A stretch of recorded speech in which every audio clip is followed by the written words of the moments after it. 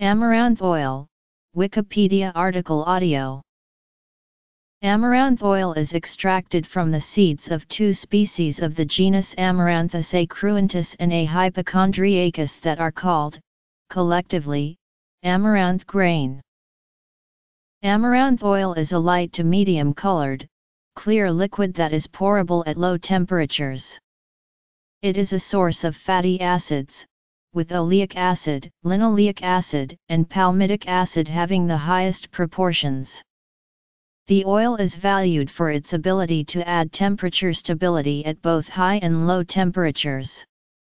Commercial uses of amaranth oil include foods, cosmetics, shampoos, and intermediates for manufacture of lubricants, pharmaceuticals, rubber chemicals, aromatics and surface active agents.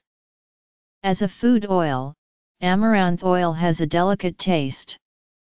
The oil content of the actual amaranth grain ranges from 4.8 to 8.1%, which is relatively low compared to other sources of seed oil. The melting point of amaranth oil is minus 27 degrees Celsius. Chemically, the major constituents of amaranth oil are